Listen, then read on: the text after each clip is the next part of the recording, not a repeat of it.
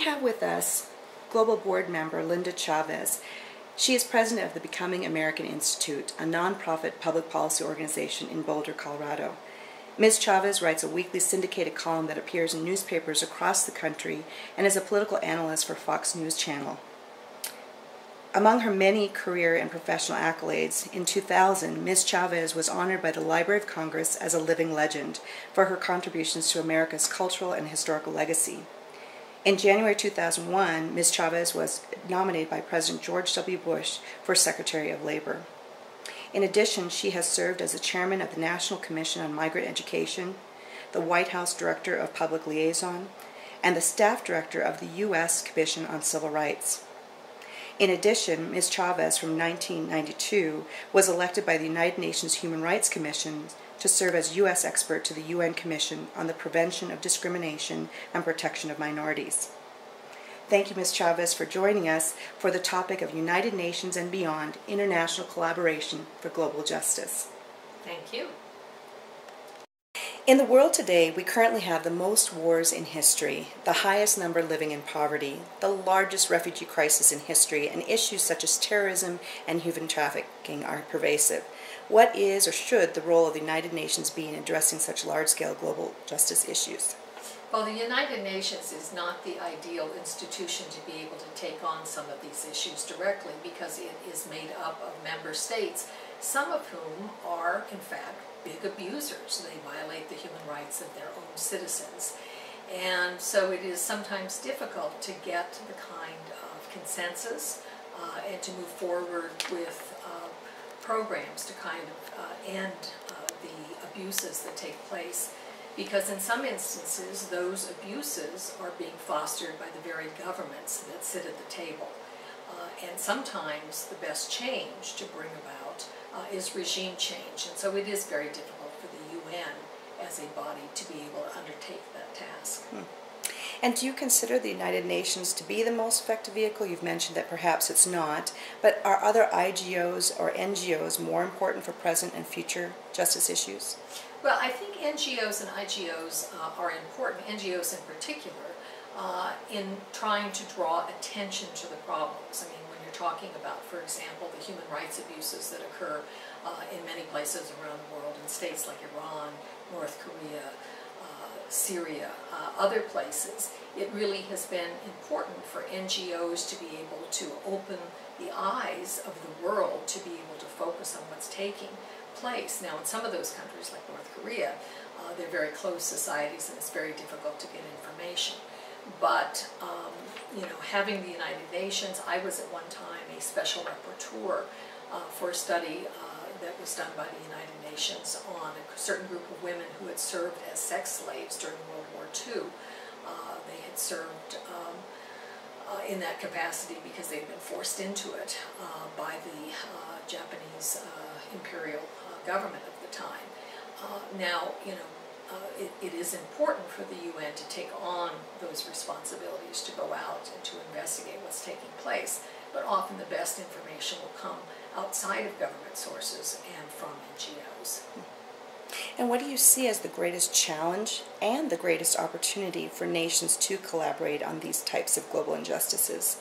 Well, I think there really ought to be something like a confederation of democratic uh, institutions. We have NATO, and certainly uh, NATO is made up uh, entirely of countries that are democratically elected.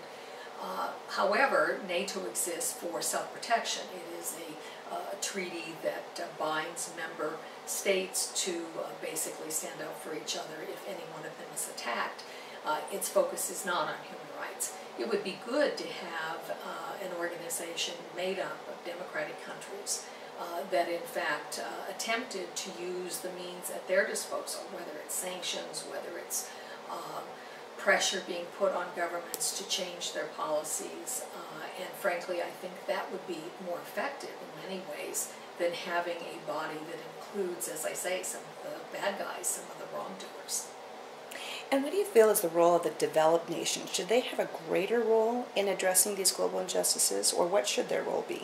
Well, I think the uh, developed world, certainly rich countries like the United States, like the United Kingdom, like Germany, like uh, many of our Western allies have a very important role to play. First of all, we have a leadership role in that we should, by our own behavior, give example to the world. Uh, I think the United States and our democracy has inspired many people around the world uh, to try to model themselves after us. And so I think we do play uh, that kind of informal role, but we also play a formal role. One thing we should not be doing is enact policies that prop up these uh, bad regimes. Uh, back during the era of the Soviet Union, the United States um, Congress enacted provisions that made trade with the Soviet Union more difficult uh, because of their human rights abuses. And so we use the levers of government to be able to apply pressure. And ultimately, over time, um, there were many factors that led to the fall of the Soviet Union, but some of the role uh, does in fact go back to the fact that we were so focused on human rights, uh, and particularly with respect to the uh, human rights violation against the Jewish community uh, in the Soviet Union. And that played a very important role, I think, in the downfall of that regime. Now, you have dedicated your work at the Becoming American Institute to addressing issues related to immigration. And what can the international community do to address that particular concern? Well, immigration is, as you know, a very contentious issue in the United States. We are an immigrant nation, unlike many of the uh, democracies that now exist in Europe and other places. These are countries that have very, very long histories. Uh, our country, uh, as a nation state, has a very short history. Uh, we're, you know, barely over 200 years uh, uh, in existence as our own separate sovereign nation. And so, um, you know, we uh, did not have a huge population. There were, of course, the Native Americans, American Indians who lived, uh, indigenous people here in the United States. But most of the people who live in the United States are descended from people who came else, from elsewhere. Uh, and we have always had uh, an open, open arms and have welcomed people uh, to come and help build this nation. Unfortunately, over the last few years, uh, I think the tone around the immigration debate has coarsened. Uh, I think the rhetoric has become very harsh. And I think uh, we have at least a portion of the U.S. population uh, that is less amenable to being uh, welcoming to newcomers. And I think it's very important. Uh, I, as a conservative, uh, believe that uh, immigration and the free movement of goods, trades, money, and people Uh, is important uh, in the world. And so I think we benefit when we welcome people who want to come here and build their lives. And so my role as the president of Becoming an American Institute is to try to go out and take that message to my fellow conservatives, to try to convince them that this is not just good for the immigrants that we welcome here, it's also good for America. And you have also studied extensively and are completing a book on the situation in North Korea. What lessons for the international community can sh you share about this situation? Well, North Korea is uh, perhaps the most brutal uh, regime uh, in the world today. I guess I'd put it on a level uh, slightly worse than Iran, which is another country that has uh, terrible human rights abuses going on. Uh, because North Korea is such a closed society. As bad as the situation is in Iran, you can in fact go into Iran, you can travel around Iran, and you can have access to information there. The same is not true in North Korea. North Korea also has a whole uh, prison system, a gulag really, uh, reminiscent of the gulag in the Soviet Union, which uh, has, we don't really know how many, but the estimates are somewhere in the neighborhood of a quarter of a million people uh, who are basically forced into slave labor camps, and they are worked to death. Um, they're not fed properly, they produce uh, what goods uh, North Korea is able to export. Recently had a friend uh, tell me that she had just come back from China and one of the people that she works with in China had presented her with uh, several toothbrushes. And he was very proud uh, to say that the toothbrushes were so cheap because the labor wasn't performed in China, it was performed in North Korea uh, I told her the likelihood was that that labor was not paid for, that that labor was probably slave labor, and that those toothbrushes had probably been made in a slave labor camp, and she was horrified. Um, so I think we do need uh, to be focused uh, on what's going on in North Korea. North Korea also presents a tremendous threat to the rest of the world because it's a nuclear nation.